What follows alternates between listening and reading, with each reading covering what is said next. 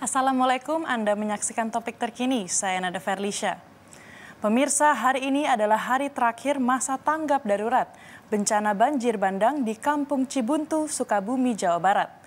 Penanganan bencana selanjutnya diserahkan pada tiga kecamatan terdampak. Tujuh hari pasca banjir bandang di Kampung Cibuntu, kondisi tiga kecamatan Cicuruk, Cidahu, dan Parung Kuda ini sudah semakin membaik.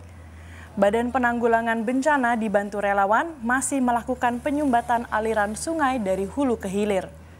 Penyumbatan ini menyebabkan banyak jembatan yang roboh dan menghambat jalur air masyarakat. Selain melakukan pemulihan, pemerintah Kabupaten Sukabumi akan memperbaiki infrastruktur dan perumahan warga.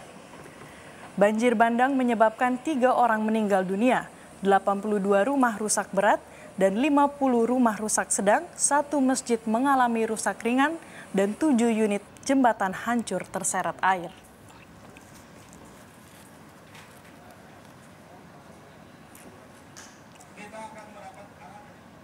Pemirsa, demikian topik terkini. Saksikan acara kami selanjutnya. Saya Nada Ferlisha. Wassalamualaikum.